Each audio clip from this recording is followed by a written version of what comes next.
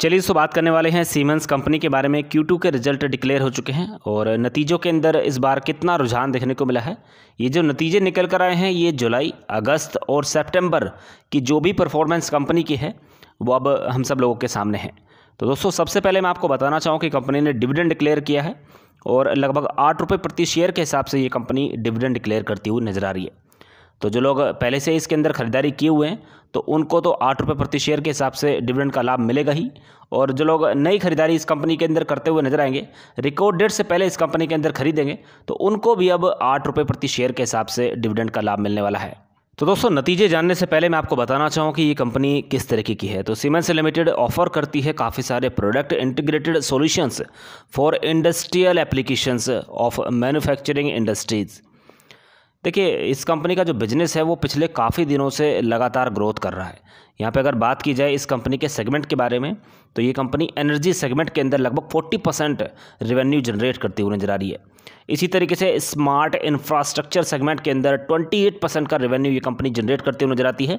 और अगर digital industry segment की बात करें तो 19 परसेंट का, और मोबिलिटी सेगमेंट की बात करें तो 9 परसेंट का वहाँ से रेवेन्यू ये कंपनी जनरेट करती हुई नज़र आ रही है। इसी तरीके से पोर्टफोलियो कंपनीज़ की बात करते हैं तो लगभग चार परसेंट का रेवेन्यू ये कंपनी वहाँ से भी जनरेट करती हुई नज़र आती है। तो पिछले एक साल से तो बिल्कुल भी मौका नहीं दिया है, लगातार कंपनी के बिज़नेस के अंदर हम लोग को तेज़ी दिखने को मिली। अब देखिए, यहाँ पर मैं आपको बताना चाहूँ कि ये जो फ़र्स्ट कॉलम आपको स्क्रीन पर दिखाई दे रहा है, ये प्रेजेंट क्वार्टर के रिजल्ट्स हैं।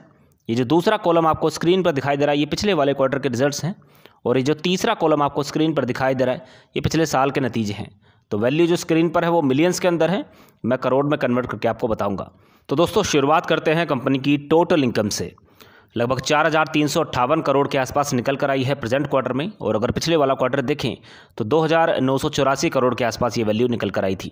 तो क्वार्टर ऑन क्वार्टर बेसिस से इसके अंदर तेज़ी दिखने को मिल रही है।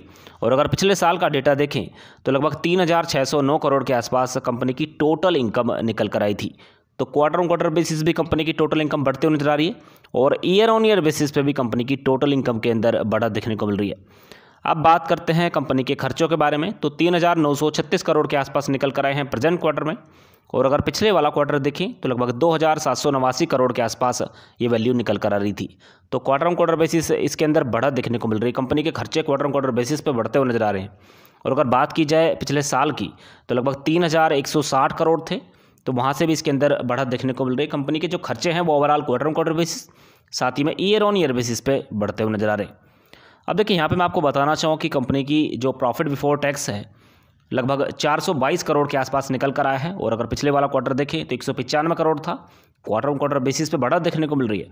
और अगर पिछले साल की बात करते हैं तो चार सौ उनचास करोड़ के आसपास ये वैल्यू निकल कर आई थी।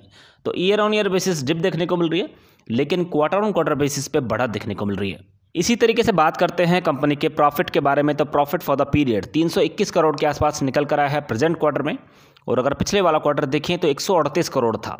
तो एक सौ अड़तीस करोड़ के मुकाबले 321 करोड़, यानी कि क्वार्टर ऑन क्वार्टर बेसिस पे कंपनी का मुनाफा बढ़ता हुआ नज़र आ रहा है। और अगर बात की जाए पिछले साल की तो 330 करोड़ के आसपास ये वैल्यू निकल कर आई थी। वहाँ से इसके अंदर हल्की गिरावट भी देखने को मिल रही है।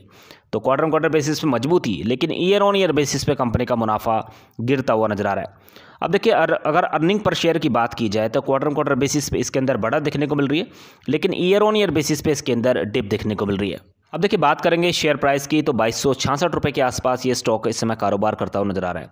आपको बताना चाहूँ कि लॉन्ग टर्म के हिसाब से बेहतरीन कंपनी मानी जाती है। पिछले छः महीने में बारह परसेंट का मूवमेंट देखने को मिला। एक साल की बात करें तो छियासठ परसेंट की तेज़ी देखने को मिली। पाँच साल की बात करें तो पैसा दुगने से ज़्यादा ये कंपनी करते हुए नज़र आई।